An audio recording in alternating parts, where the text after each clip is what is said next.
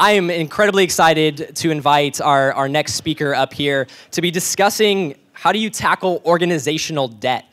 Uh, and so, our keynote for this, uh, for this late morning is Jonathan Raymond. Jonathan is the CEO of Refound and the author of the award winning and best selling book, Good Authority. And so, Refound trains leaders how to give effective feedback and create cultures of accountability. He's the former CEO of eMyth, and he's led business transformation projects in tech, renewable energy, and the coaching industries, so across a ton of different spaces.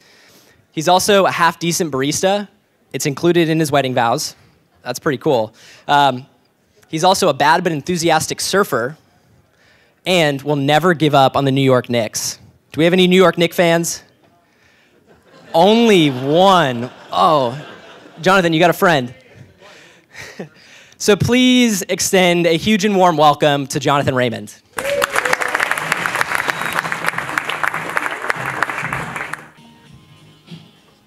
Technical debt. Now, unless you were in a peculiar mood or you had something odd for breakfast, you didn't wake up this morning excited about tackling your technical debt. Right? I don't love that you have it either, but what I love about it is that you know what it is. You know how technical debt gets created. You're probably keenly aware of the problems that it causes. You know how to solve it.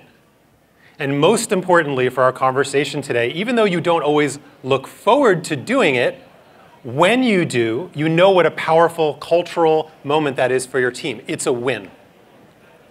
It's a critical skill as an engineering leader to be able to acknowledge the existence of and take a thoughtful approach to resolving technical debt.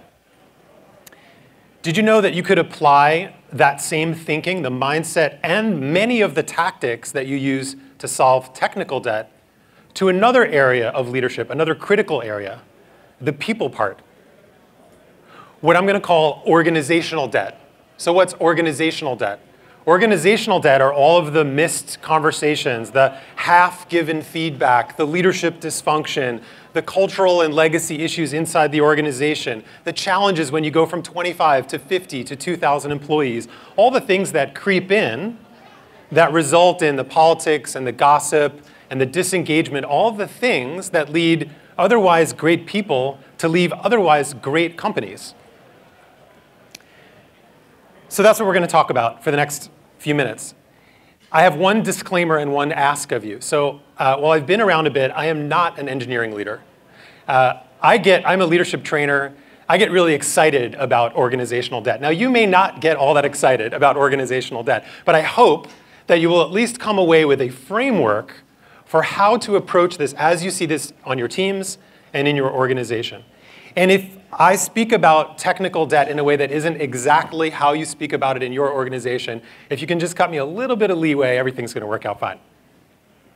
So let's start by defining our terms. What is technical debt? Right? So the top hit in Google says technical debt is the implied cost of rework that is created by choosing an easy solution now instead of a better one that might have taken longer or would have taken longer. It's a beautiful definition, right? It's logical, it's intuitive, it matches our experience. That's kind of how it is, right? Sometimes we choose easy over better, and there's a cost. What's not in that definition, right? Does it say you're not a good person if you sometimes choose easy over better? No. Does it say you don't know anything about engineering if you sometimes choose easy over better? No. Does it say anything about your personal character, your moral fiber, or the evolution of your consciousness if you sometimes choose easy over better. No. It simply states something that we know to be true, that sometimes we choose easy over better, and it has a cost. We know as engineering leaders when it comes to technical debt, and as I'll argue, as organizational leaders, when it comes to organizational debt, we know that we take shortcuts. We make easy decisions. We do things that are expedient in the moment, but it has a cost. And we have to deal with it as a responsible leader. We have to deal with it. It doesn't have to be the most exciting part of our day. It doesn't it's not the sexiest thing in a release, but it's important. It's a powerful win for the organization. So, let's start. How do you know when you have or you suspect that you have a piece of technical debt? Well, you're probably going to tell me when I walk into the hallway some ways that I didn't think of, but there are at least three. So, one is the code isn't working the way it was intended. It's behaving in a way that's buggy or erratic. It's not doing what we want it to do. So we think to ourselves, oh, we probably have, or maybe we know we have a piece of technical debt. What's another way? Maybe the code is working, but it's slowed down. It's still doing the thing that we asked it to do, but it's not doing it as fastly or as, with as much crispness as we would like. What's another way, a third way, it shows up in morale. You're hearing it in your office. People are saying, hey, I'm spending a lot of time and energy dealing with this. Can you please do something about this? Right? It's driving us crazy on the team. So it's either something erratic, something inefficient, or it's causing problems for other people. How about organizational debt? What are the symptoms where you either know or you suspect that you have or might have organizational debt? Same three. Somebody or some group of people is behaving erratically, doing something unexpected. Or second, maybe they're doing the thing you asked them to do, but it doesn't have that same crispness. It doesn't have the same quality that it used to. Then it's like, oh, there must be something going on. Or third, a person or people are causing problems for others. Right? And you're hearing about it in, in your office, and it's cutting into your creative and strategic time because people are coming to your office and saying, hey, can you please do something about this? Right? So, what's the first thing that you do? What's the first step that you take when you suspect or think you have a piece of technical debt? Do you go and solve it? No. The first thing that you do is you name it, right? Now, maybe that's putting a sticky note on a whiteboard or a task in Asana or whatever tool you use, but you take a pure first step. You just name it. You get it out of your head and you put it on a page or the page. Why? Why is that so important? The reason why that's so important when it comes to technical debt is because the universe of things that you don't know yet is enormous.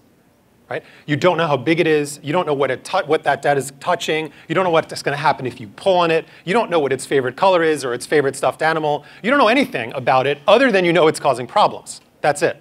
That's all, but that's all you need to know because now you can have conversations about it. Right?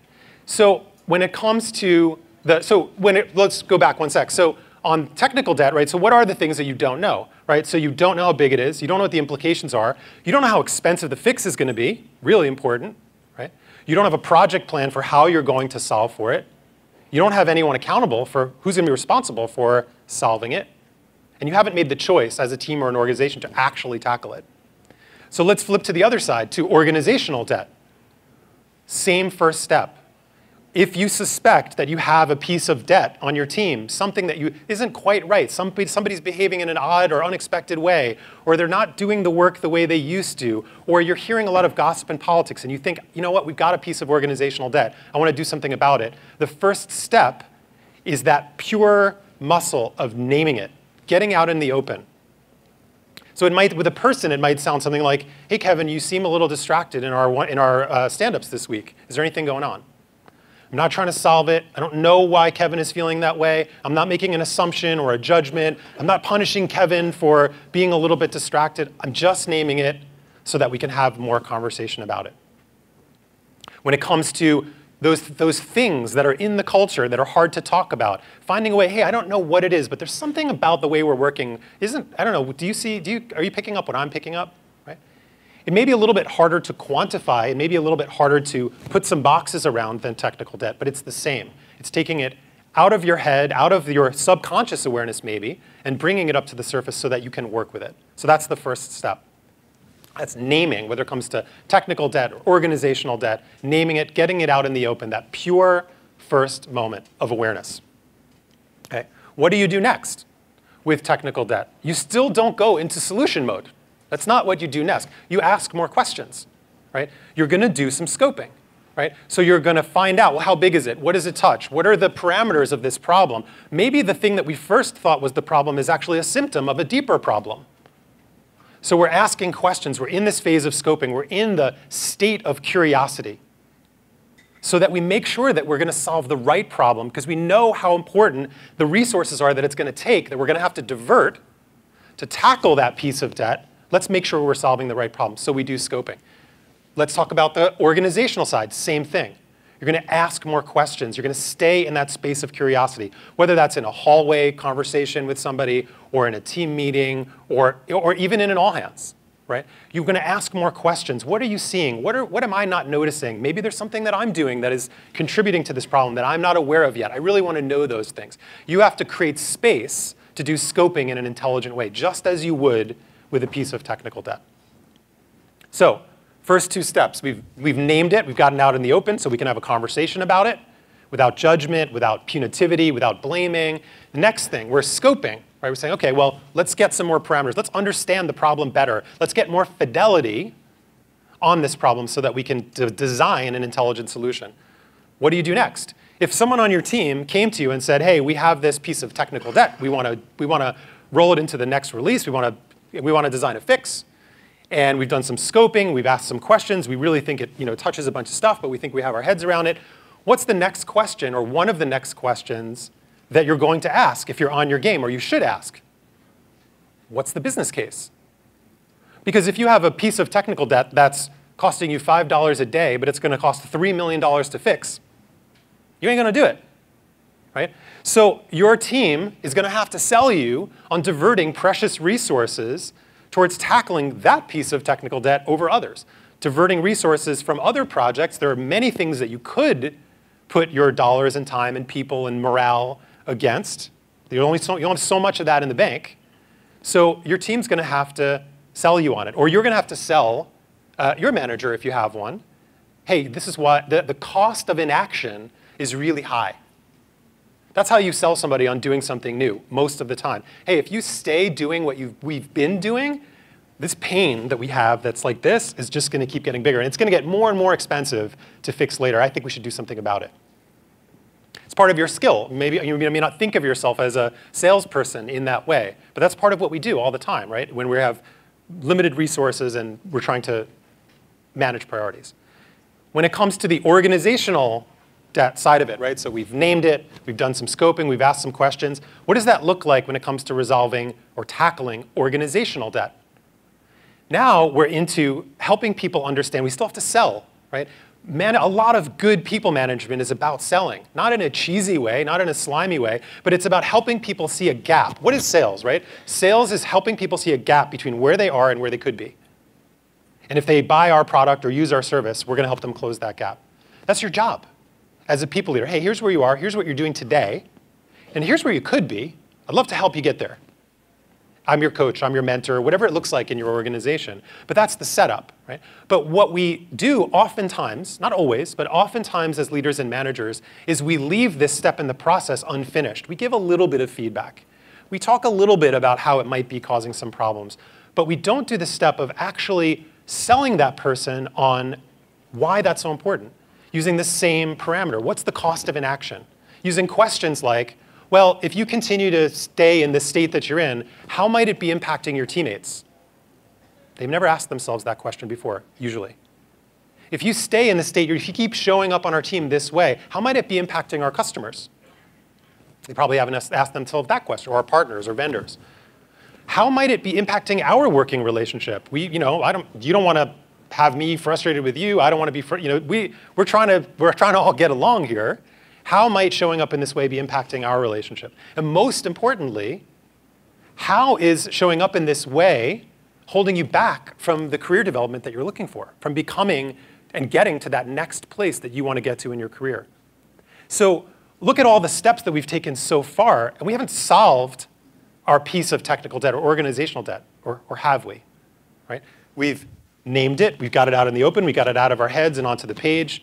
We did some scoping. We said, okay, we, we need to understand the parameters. We need better fidelity on this problem. Third step, we said, okay, well, we gotta, we have to, we gotta make the sale. We gotta close the deal, right? We're almost home. So we've done these first three steps. We haven't gone into active solutioning yet, but now we will. Because what's the next thing that you do? You've named it, you've scoped it, you've sold the team, hey, we're gonna tackle this piece of technical debt. What's the next thing? Do you say, oh, well, you know, we should probably do something about that someday. I wonder if somebody will take this on. No. You put a name on it, it's Melissa, and it's going to happen by March 31st. You put a name and a date. If you don't have a name and a date, you don't have accountability. It's just a theory, right? So it doesn't mean there aren't other people that are going to be working on that project, but that project needs a champion. That needs someone to say, hey, this is mine. I'm going to do this. I'm going to enlist. I'm going to get, I'm going to get with other people what I need in order to do this, but I'm responsible for this. I'm going to drive this forward. And I'm going to communicate with the rest of you how it's going and if I need to update something or if I need to change something, right? So we're putting it on the calendar and we're putting, there's an avatar. Someone's avatar in, in some tool is on that project. When it comes to organizational debt, the same thing has to be true. It can't be a, an etheric, abstract concept. If somebody, if a, somebody has a performance issue that you need to help them with, or the team has some kind of uh, challenge or struggling with some dynamic, right? You have to make a project out of it. There are too many distractions, way too many distractions. There are so many shiny objects, not just in our professional life, but in our personal life, things that we could divert our attention, attention to. We make a project out of it. We, have, we decide, okay, this is important, and it's important enough to put on the calendar and put someone's name on it. Same goes with organizational debt. Right? Somebody needs to be responsible. Hey, we need, we need better communication standards on our team. It's a little bit squishy. When, when, if I send an email to somebody, when should I expect a response? How do we use Slack? What, you know, what, are the, what are the rules of the road for how we do things here, how we're supposed to show up for another? Somebody should own that project. Other people can have input, but somebody should own that. We need to do better job of managing, of, of setting clear expectations. Who's going to do that for this piece? Who's going to do it for that piece? Some of that may be your, yours as the leader of that team but we put a name on it and we put it on the calendar.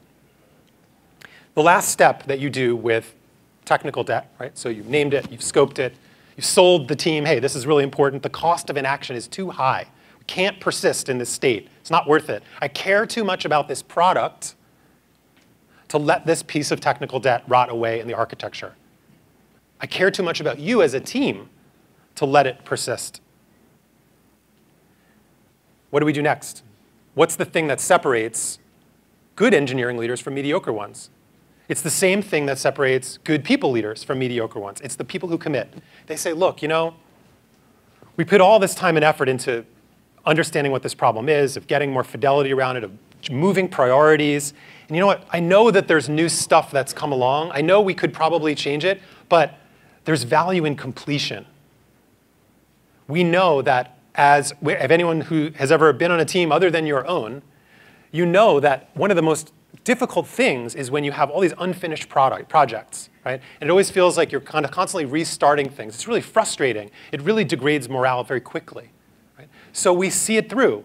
We say, look, I know we, yeah, we found this other thing in the process of you know, scoping this piece of debt that we want to that we want to retire. We learned some other things. We're going to put it up on the board. Goes in the backlog.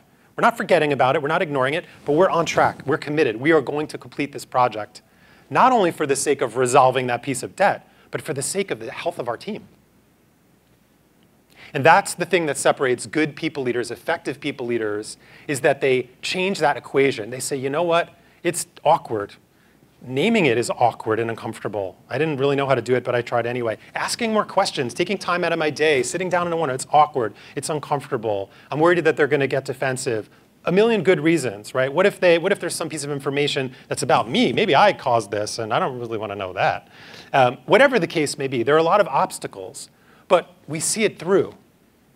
And if you've been on a team as I'm sure almost everybody in here has, when a performance issue with a specific individual who's been causing problems for others, or some morale or some dynamic, something needs to change in that organization, we have this dual experience where leaders often wait too long, typically way too long. But when they do, when you do, when you say, you know what, I'm committed, this is not okay, the cost of inaction is too high, that's when your team goes, whoa. That's the kind of person I want to work for. Somebody who values these other elements, who prioritizes cleaning out our organizational debt, thinking thoughtfully about it, thinking methodically about it, not giving feedback about every little thing, but choosing and picking their spots and realizing what is the, what is the highest value things that they can do to advance the cause of our team. That's the person that I want to stick around and work with almost regardless of what happens around us at this organization. I'll stay with that manager leader for a really long time. I saw some nodding heads. People know, like, we'll, we'll stay working for a leader for a really long time if they do the right things, if they keep their house in order. So whether it comes to identifying and thinking about and, and working with technical debt or organizational debt, they're kind of the same right? The process, the, the, technical, the, the technical process that you follow, of course, there are vagaries, there are, there are distinctions, but the framework for how to solve it, to name it, to get it out in the open, to do some scoping, right? ask more questions, stay back in that space of curiosity. Do the work to make people understand, if, they, if it's not intuitive at first, hey, the cost of inaction is too high. And then put it on the calendar and put someone's name upon it and have however many conversations you need to have to make sure that the right things happen on your team and your organization. And if you do that, you'll become the leader that your team is waiting for. Thank you so much for listening.